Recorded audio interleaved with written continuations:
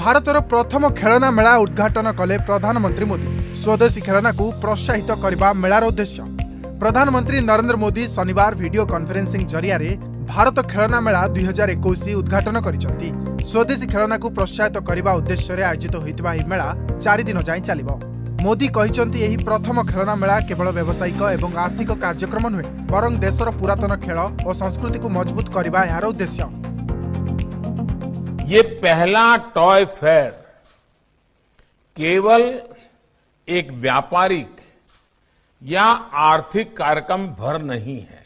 ये कार्यक्रम देश की सदियों पुरानी खेल और उल्लास की संस्कृति को मज़बूत करने की कड़ी है।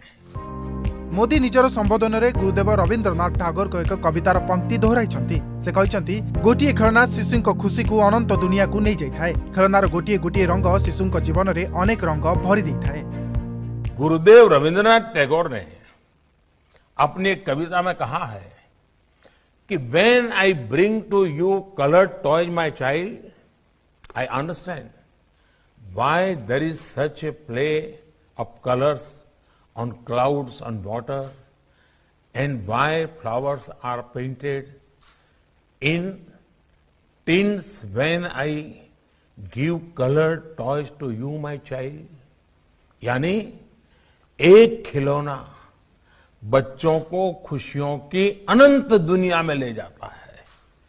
खिलौना का एक एक रंग बच्चों के जीवन में कितने ही रंग बिखेरता है। ଏହା ସହ ପ୍ରଧାନମନ୍ତ୍ରୀ ମୋଦି କହିଛନ୍ତି ଆଜି ଖେଳନା ମେଳାର ଅବସରରେ ଏହି ଶକ୍ତିକୁ ଆଧୁନିକ ଅବତାର ଦେବା। ଏହି ସମ୍ଭାବନାକୁ ହୃଦୟଙ୍ଗମ କରିବା ଆମ ସମସ୍ତଙ୍କର ଦାୟିତ୍ୱ। ଯଦି ଆଜି ମେଡ୍ ଇନ୍ ଇଣ୍ଡିଆର ଚାହିଦା ଅଛି ତେବେ ହ୍ୟାଣ୍ଡ ମେଡ୍ ଇନ୍ ଇଣ୍ଡିଆର ଚାହିଦା ସମାନ ଭାବରେ ବୃଦ୍ଧି ପାଉଛି। Bureau report Argus news.